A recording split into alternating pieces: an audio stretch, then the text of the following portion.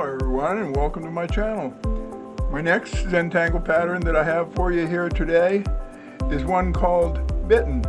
Let's take a look at it. This one starts out with a square grid and every other grid will have diagonal lines um, just off of, uh, off of the point. Don't go, go through the diagonal, just off of the uh, center point diagonal. Draw two lines and then up a little farther.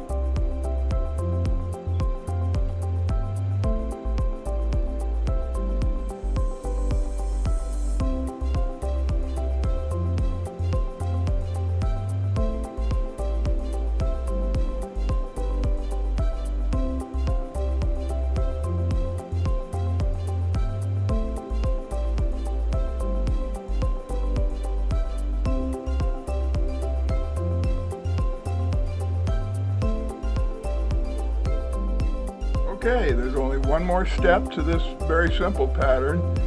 For the, uh, the vertical white squares, we're going to color all of six of these in black, and the horizontal white squares will stay white.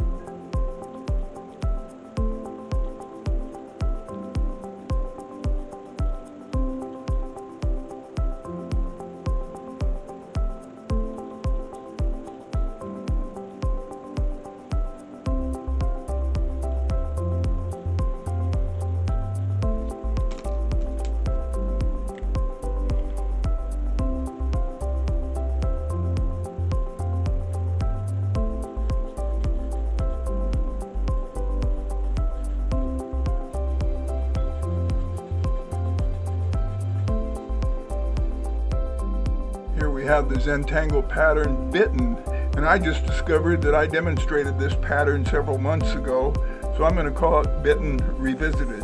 Well thanks for stopping by and I hope you'll come back again next time for another fun Zentangle pattern. See you then.